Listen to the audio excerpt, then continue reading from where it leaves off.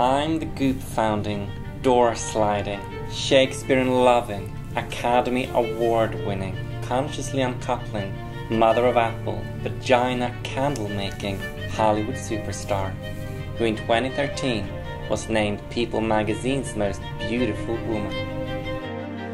I'm a man.